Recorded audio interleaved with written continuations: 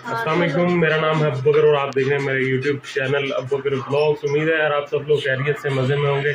अगर अभी तक आप लोगों ने मेरे चैनल को सब्सक्राइब नहीं किया तो मेरे चैनल को सब्सक्राइब कर लें। तो आज है जी हमारा लास्ट डे इस्लामाबाद का हमारे सफ़र की आज आखिरी वीडियो है। तो इसमें पहले हम लोग निकलना हमने लाहौर के लेकिन हम जाएँगे पहले पाकिस्तान नेशनल मोन्यूमेंट यहाँ पे एक जगह है, वहाँ पे जाएँगे। फिर हम लोग वापस लाहौर के लिए निकलेंगे। यार ये फाइनली आ चुके हैं जी। पाकिस्तान मोन्यूमेंट ये इसका गेट है और इंट्री पॉइंट यहाँ से है। तो ये आप लोग पढ़ सकते हैं, यहाँ पे लिखा भी हुआ है। सुबह नौ से रात दस बजे तक खुला है। गाड़ी गेट के बाहर पार्क करें। बाकी ये कुछ इसकी इन्फॉर्मेशन और लिखी गई है तो ये है जी अंदर जाने का रास्ता।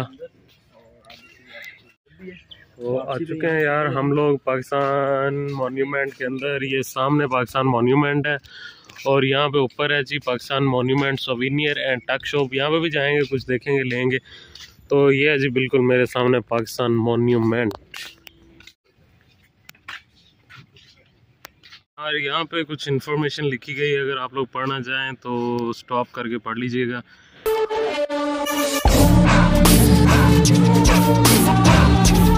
है जिसका बिल्कुल क्लोज व्यू इसमें कुछ आर्ट बना हुआ है। काफ़ी सारे पाकिस्तान की फ़ेमस चीज़ें बनी हुई हैं, ये ऊपर देख सकते हैं आप लोग। यार, इसका इस्लामाबाद का व्यू और सामने सेंट टॉरस भी नज़र आ रहा है, फैसल मस्जिद भी नज़र आ रही है। तो यार मोन्यूमेंट तो हमने देख लिया, आप लोगों को भी दिखा दिया अभी जाएँगे हम लोग पाकिस्तान मोन्यूमेंट म्यूज़ियम के अंदर। तो चलते हैं, आप लोगों को भी दिखाते हैं। पहले टिकट्स का पूछते हैं कि टिकट का क्या हिसाब है तो टिकट लेते हैं तो फिर अंदर चलते हैं हम लोग। तो सबसे पहले तो कुछ इन्फॉर्मेशन लिखी गई है। हम लोग अंदर आ चुके हैं। ये है जी अंदर से म्यूज़ियम तो अभी चलते हैं नीचे। आप लोगों को अच्छी तरह दिखाते हैं। आगे हैं जी हम लोग यहाँ पे।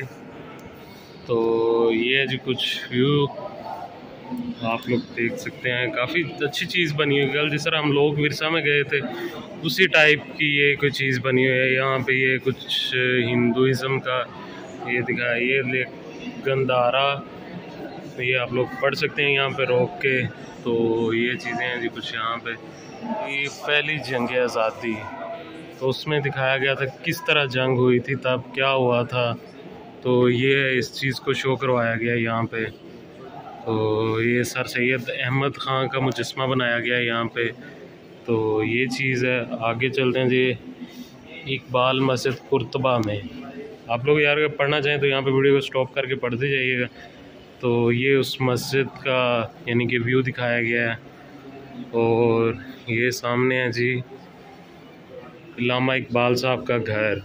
तो ये आप लोग देख सकते हैं यहाँ पे उनका क्या स्टाइल था घर का, कैसे वो ज़िंदगी गुजारते थे, उस चीज़ को शो करवाया गया है। और ये भी इलामा इकबाल एड्रेस इन अलाहाबाद। तो ये आप लोग पढ़ सकते हैं। ये उनका सामने दिखाया गया है। डॉक्टर मोहम्मद इलामा इकबाल साहब। तो अंदर चलते हैं। ये जी इलामा इकबाल के नवादरात। तो इस चीज़ को देखते हैं अंदर से। तो ये आई थिंक उनसे जो मनसूब चीज़ें हैं, उनको यहाँ पे रखा गया है। तो ये उनका मज़ार लाहौर में है। तो तो ये उनकी चेयर रखी हुई है यहाँ पे, ये तो आप लोग देख सकते हैं, पढ़ भी उनके कुछ लिखी हुई चीज़ें हैं, उनके खुद के हाथ से।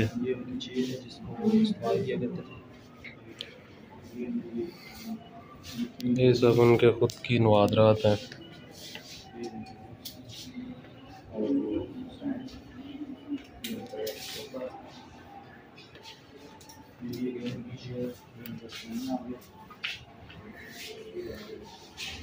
जी Victorian type sofa Allama Iqbal साहब का है, इनका, लामा इकबाल साहब का हुक्का रखा गया है यहाँ पे।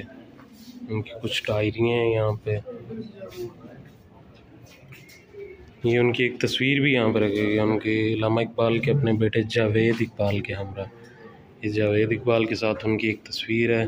इलामा इकबाल के ज़ेर इस्तेमाल रहने वाला कलम, दान दवा दान और लकड़ी के लिखने वाली मेज़। तो यार ये उन ओरिजिनल चीज़ें हैं। तो यहाँ पे एक उनका फ़ैन पड़ा हुआ है, यानी कि पंखा। तो इलामा इकबाल के बूट पड़े हुए हैं। पाकिस्तान का मंजरनामा यहाँ पे अंदर इंफॉर्मेशन दे रहे हैं वो लोग। जी। कायद अजम मोहम्मद अली जना के नवादरात हमारे कायद। तो चलते हैं अंदर दिखाते हैं इनका क्या क्या चीज़ें पड़ी हुई हैं। तो सबसे पहले तो ये है जी उनका ड्रेस उनका ड्रेस पड़ा हुआ है कायद अजम के ज़ेर इस्तेमाल रहने वाला आराम। आरामदह कम बेड सोफ़ा जिसको कहा जाता है, ये ये उनका ड्रेस यानी कि शेरवानी पड़ी हुई है। उनके इस्तेमाल रहने वाले चमड़े का संदूक जिसके ऊपर एम ए जना तहरीर है। वाह, ये आप लोग देख सकते हैं, नीचे लिखा हुआ है। तो ये पड़ा हुआ है जी, लकड़ी का संदूक। तो ये ओरिजिनल जो उनके ज़ेर इस्तेमाल चीज़ें थी, ये वो हैं। तो ये भी है सोफ़ा रैगजीन कुशन के साथ, ये सामने। उनके ऊपर उनका मुजस्मे को बिठाया भी गया है।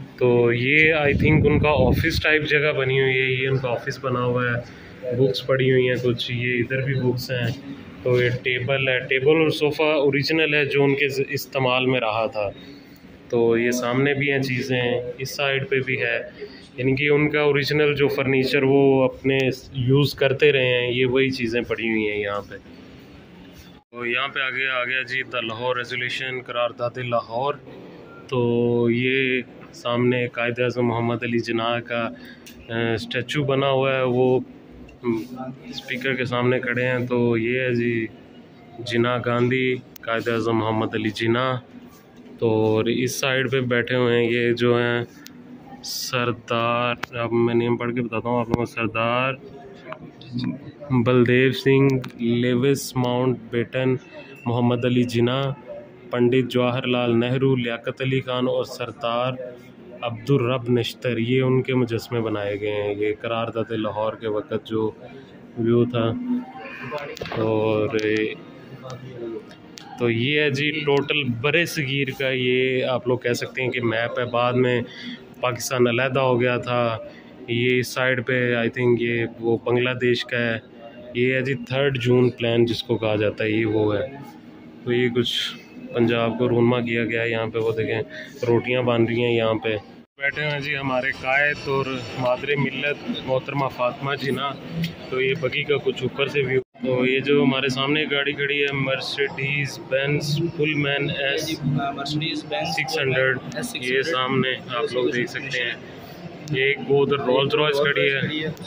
तो ये है जी शहीद सैयद अली गिलानी, गवर्नर, ये उनकी कुछ चीज़ें रखी गई हैं। निशान पाकिस्तान है और वो एक और चीज़ रखी गई है। ये उनका स्टडी टेबल है, सामने उनके कुछ ड्रेसेस रखे गए हैं। गाड़ी का करीब से व्यू। तो ये जो बगी दिखाई गई, इसका लिखा कायद अजम और मोहतरमा फातमा जना स्टेट बैंक ऑफ़ पाकिस्तान के अफ्ताह के लिए तशरीफ़ ला रहे हैं। तो ये आई थिंक है जी, इस गाड़ी का ही कुछ पेपर पड़ा हुआ है यहाँ पे आप लोग देख सकते हैं ये। तो ये है जी गाड़ी बिल्कुल करीब से हटसन लिखा तो हुआ है। ये है car company Hudson limousine model 1920 1920 की ये गाड़ी है। आप लोग देख सकते हैं यहाँ पे।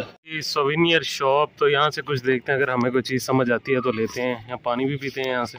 तो यार पाकिस्तान मोन्यूमेंट और पाकिस्तान म्यूज़ियम वगैरह तो हम लोगों ने देख लिया है तो इसके साथ ही हमारा इस्लामाबाद का टूर यहीं पे एंड होता है तो अभी हम लोग निकलने लगे हैं वापस लाहौर। तो इन आप लोगों को मिलते हैं Bhera inter Bhera rest area पे जा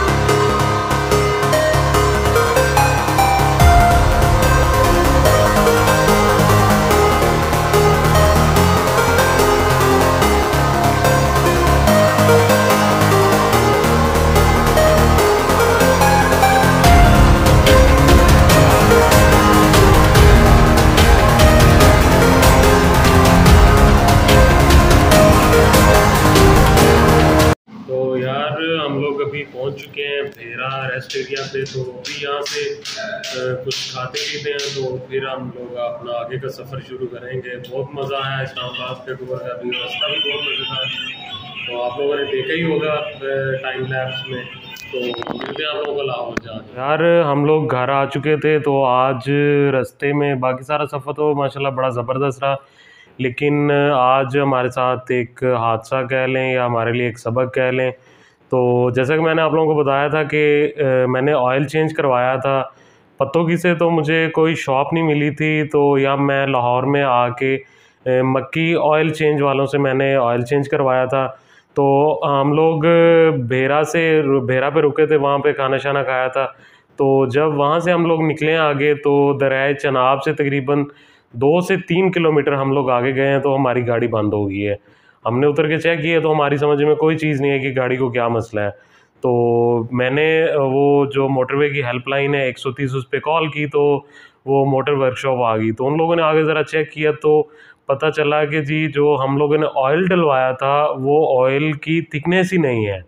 बिल्कुल एक नंबर का घटिया ऑयल डाला उन लोगों ने। तो अगर मैं दिखाऊँ तो यार प्रोटोकॉल तो उन लोगों ने मुझे फुल दिया था। ये है कुछ उनकी शॉप का, ये इसकी मैं पिक्स अटैच कर दूँगा साथ।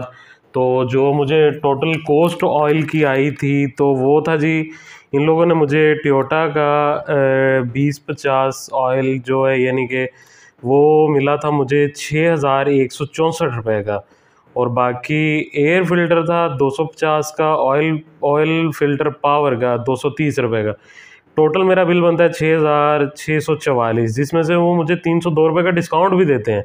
तो जो मैंने टोटल बिल पे किया था, वो था six thousand three hundred forty two rupees. तो लेकिन वो तकरीबन हम लोग इस्लाम, इस्लामाबाद गए हैं। वहाँ पे भी हमारे पास, हमारे साथ कुछ इश्यूज़ आ रहे थे, ये गाड़ी का बंद होना हीटअप होना लेकिन हम लोग इग्नोर कर रहे थे, शायद हिली एरिया था इस वजह से। लेकिन वो तो जब उन लोगों ने आगे बताया, हमने खुद भी चेक किया तो बिल्कुल ऑयल ऐसे था, जैसे कि उसमें थिकनेस तो थिकनेस नाम की तो कोई चीज़ है ही नहीं थी। तो ये है जी, उन, मैं इनकी पिक्स अटैच कर दूँगा। एक उन लोगों ने मुझे साथ ही टिश्यू पेपर का डब्बा दिया और एक साथ कपड़ा सा दे के उन लोगों ने बड़ा प्रोटोकॉल दिया। तो इनशाला सुबह जाएँगे उनकी शॉप पे, क्यों मेरे पास सबूत के तौर पे ये मोटरवे वालों की तरफ़ से जो हमारा उधर ख़र्चा हुआ है, हमने ऑयल फिर टोटल वालों का डलवाया था वहाँ पे। अभी हम लोग आते हुए गए थे, लेकिन उनकी शॉप बंद थी। मैं गाड़ी की वीडियोस भी साथ साथ अटैच कर दूँगा, वहाँ पे हमारे साथ क्या हुआ था। तो बाकी यार, माशाल्लाह टूर तो हमारा बहुत अच्छा गया, इस्लामाबाद में बहुत मज़ा आया। तो अगर आप लोग चाहते हैं कि नेक्स्ट टाइम भी इस तरह के टूर्स आएँ तो मेरे साथ जुड़े रहिएगा। तो अगर आपको आज का हमारा सफ़र पसंद आया हो तो मेरी वीडियो को लाइक करिए शेयर करिए और रिकमेंड करके बताइएगा कैसी लगी आप लोगों को वीडियोस तो इसी के साथ हमारा इस्लामाबाद का टूर यहाँ पे ख़त्म होता है। तो मिलते हैं आप लोगों को नेक्स्ट नेक्स्ट व्लॉग में, तब तक लिए अपना ख्याल रखिएगा। अल्लाह हाफिज़।